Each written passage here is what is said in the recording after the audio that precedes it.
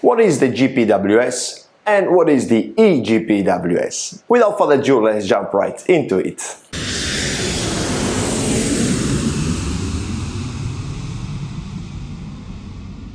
Hi there, it's Gabriele here from pilotclimb.com and in today's video we're gonna talk about the GPWS and the eGPWS. By the end of this video you will know what the GPWS is, why we have got the GPWS and the eGPWS and then at the end of this video we're gonna jump into the simulator and we're gonna analyze each warnings and callouts that the GPWS of a Boeing 737 provides us. Before starting, if you have any questions during the video, just leave a comment below with a question and then I will answer you out. Also, if you have any video request, any topic that you would like me to do a video, just drop me a comment below and then I will consider your request. So, let's jump into the GPWS.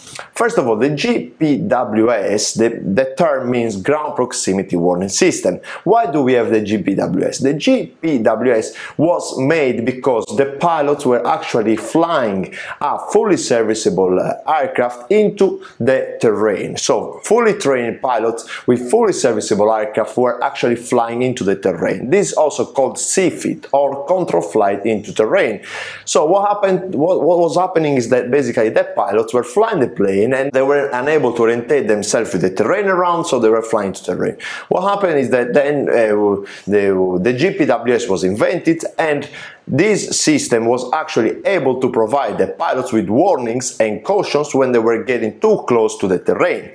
But the problem with the GPWS is that uh, the GPWS is only based on radio altitudes indications. Since the radio altitude indications normally works within the last 2500 feet, in some cases there were no enough time for the pilot to react after a GPWS warning because they were already too close when the warning actually occurred. So a few years later, even though with the, uh, with the GPWS, the CFI, the control fly into terrain accident really decreases a lot because with this feature on board you can imagine all the um, potential uh, CFIT uh, events were actually solved. The percentage of CFIT was actually reduced a lot with GPWS. But anyway, there was a problem because the radio altimeter was way was starting to work when the aircraft was cl close to the terrain, and sometimes the pilots were didn't have enough time to react. So, in order to solve this second problem, the eGPWS was actually invented. The difference between the GPWS and the eGPWS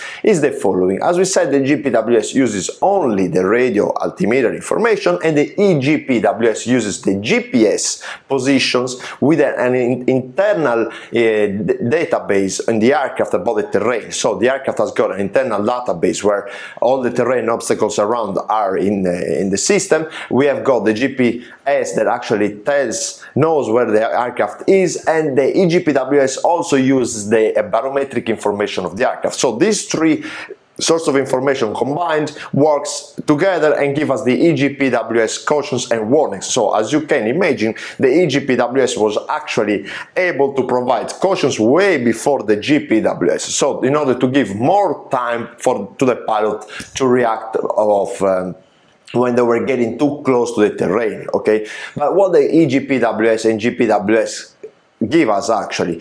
What the GPWS provides us are warning callouts and visual uh, signs of the terrain closure of any other potential hazard of the flight. For example, when the GPWS talk with the wind shear, with, with the predictive uh, wind shear system, we have information about the wind shear as well. So the aircraft actually screams to the pilot wind shear, wind shear when they are inside the wind shear or if you are getting too close to the terrain it's gonna tell us terrain terrain pull up. So this is all, all the aural warnings that the eGPWS GPWS and the predictive wind shear system provides the pilots. Or another example is for example if the aircraft is starting uh, is having a, a bank angle that is a little bit too much. In the Boeing 737 for example is 35 degrees of bank, then the GPWS will actually warn us that we are banking too much and it's gonna tell us bank angle, bank angle. These are all aural alerts that make the pilot to wake up.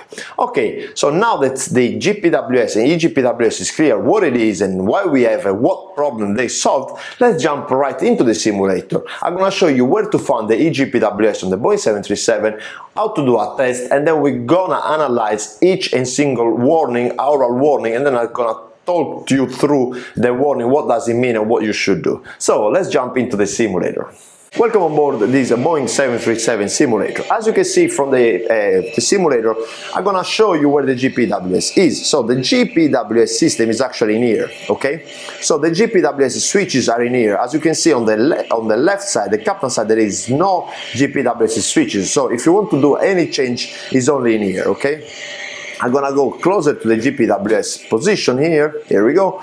So first of all, I want you to stay focused in here. This is the navigation display and as you can see the eGPWS, this is the in internal database of the terrain. So as you can see we've got this yellow here, this red in here and this means that this is the, the, actual visual indication of the terrain. This is the aircraft, okay, so it has got the information about the position of the aircraft relative to the terrain. This was not possible with, G, with the GPWS. In fact, if I do this and we look outside, this is actually the terrain that is represented in here. Okay, so the terrain that you see here is the terrain that is outside. As you can see in the picture here, we've got the red terrain, the red terrain and the yellow terrain. The red terrain in this case means that we have terrain that is at 2000 feet above our altitude okay whenever you've got terrain that is above 2000 feet of, of your altitude this is the red is depicted in red when you've got yellow the yellow means that the terrain is between 2000 feet above your altitude and 500 feet below your altitude. And then you've got the green terrain, which is more than, than 500 all the way down to 2000 feet below you. Then when we've got blank, there is a black information about terrain, means that terrain is not a factor. Okay, so as you can see here, this is all dashed, these are points, so it's not a full, uh, a full red, okay? What happens is whenever you get close to the terrain, if you don't do uh, the corrective action in order to warning you that you are getting too close to the terrain, this red actually became solid red and this yellow as well, okay? So this is an information because we are still far away but if you get close the GPWS will make this uh, sorry the EGPWS will make actually this uh, dashed red to, into solid red in order to be to give us a visual warning as well. All right?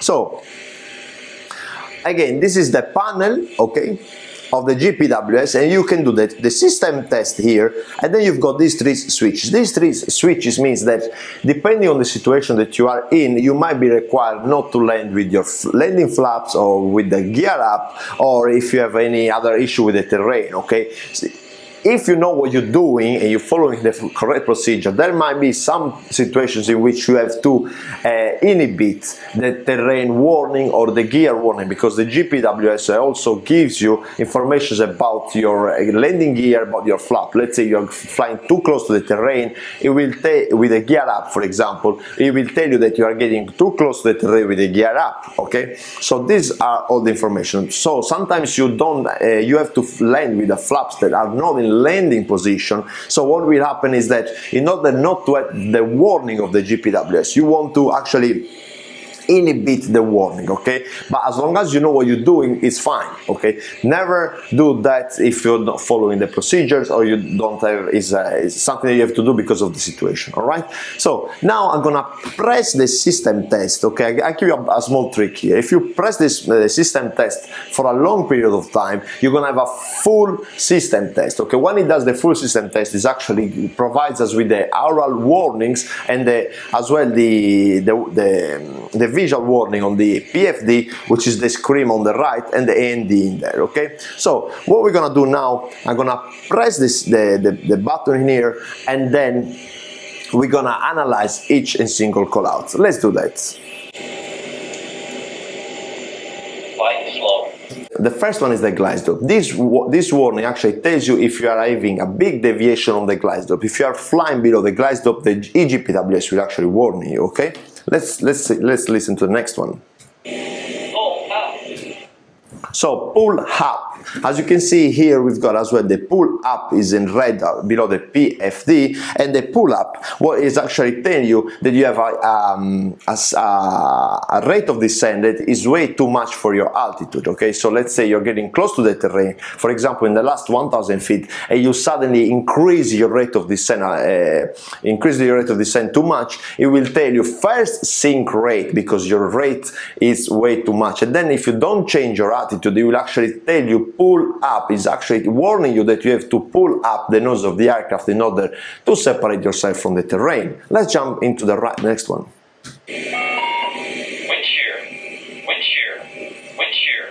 This other one, the tone has got a tone and then it has wind shear, wind shear, wind shear three times. Actually, it's, telling us that we are inside a wind shear, so you need to do something about it. There is a specific maneuver which is called wind shear escape maneuver, and I made actually a separate video about the wind shear. Just go and check that out because it was quite. Uh, I explained exactly what wind shear is and how it works. I will make sure that uh, you're gonna find a link in a comment below. All right? Tank Sink rate, sink rate, sink rate is a, is a caution that is basically telling us that our rate of descent is too much for that altitude. Okay, if we are getting close to the terrain, we have a, a, a, way too much the rate of descent. Okay, our vertical speed is very high. What happens is that it's gonna first telling us sink rate, sink rate, sink rate. If we, we don't do anything, or if we increase the rate of descent, it will actually tell us pull up. Okay terrain. As you can see, we got terrain and pull up here on the PFD. What happened is that we are getting too close to the terrain is warning us, okay? So we need to do something. In this case, whenever you hear terrain pull up, you need to do the uh, terrain escape maneuver, okay? If you're getting value from this video, please consider subscribe to the channel and give it a like to the video. Let's continue. Here we go. Don't sink. Don't sink. This is a warning that the GPWS give us if after takeoff you actually lose altitude. Okay. If you take off and then you start losing altitude, you start to sink, then the GPWS will actually tell you don't sink. Don't sink. Too low terrain. Too low terrain is a warning that the GPWS tells you, give, gives you if you're flying too close to the terrain at high speed with the gear up or the flaps not in landing position. Gear. Too low gear is another warning that GPWS tells you if you're flying too close to the terrain at low speed with the gear up. That's why, for example, imagine if you have to land with the gear up because you have some problem with the landing gear and the procedure tells you that you have to land with the gear up, you don't want to have this warning all the way down during the approach. So if you look at the panel here, we've actually got the gear inhibit switch. So that's why if you know what you're doing, it's a procedure that requires you to land with gear up, you have to do that. Otherwise, during the approach, you're gonna have this warning all the way down and I tell you, it's not a nice thing to have. Too low flaps is a warning that GPWS tells you if gives you if you're flying too close to the terrain at low speed with a flap non in landing configuration. Again, there might be some situation where you have to land not with landing flaps, and that's why we've got the flap inhibit switch here if you look next to the system test, okay? Here we go, bank angle is another eh, warning that's a eh, caution that the GPWS tells you if you, your bank angle is too much. On the Boeing 737, whenever you pass 35 degrees of bank, it will actually tell you bank angle, bank angle, and then eh, it will give you another warning at 40 degrees, another warning at 45 degrees, okay? It's actually telling you, listen man, you're banking too much. Approaching minima is a call that the system gives you when you are getting close 100 feet above your minima, your decision altitude.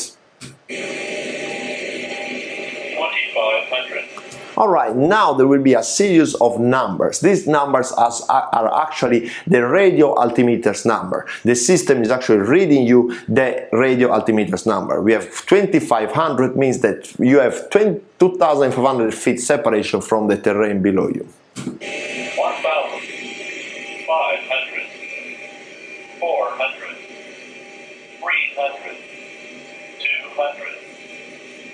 100, 50, 40, 30, 20, 10. This system just went through from 2500 all the way down to 10 feet radio altitude separation from the ground below you okay especially during landing the 50 40 30 20 10 helps you out for the landing uh, maneuver okay.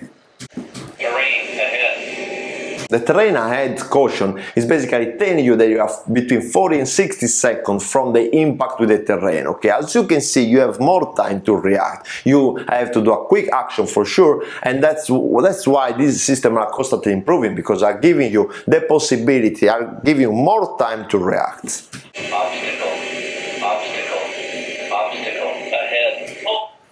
obstacle obstacle ahead means that you've got an obstacle okay could be a man-made obstacle so when it says obstacle obstacle ahead again you are between 40 to 60 seconds from the impact with that obstacle oh, up. Okay, I hope the video was clear for you. I hope you take something out of it and you understood the difference between the GPWS, the eGPWS and which problem they solve. If you still have any question, just leave me a comment below and then I will answer you out. If you want to support the channel, please consider subscribe, give a like to the, to the video and then you go you can go to pilotclimb.com where you can subscribe for free pilot training content and I'll see you in the next one.